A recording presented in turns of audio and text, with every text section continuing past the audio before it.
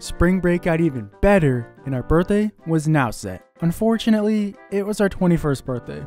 So we spent that day with our buddies and flew to Florida, where we had a kick ass time, drinking all night, bar hopping. We went to this dude's beach house, and his name is Johnny, right?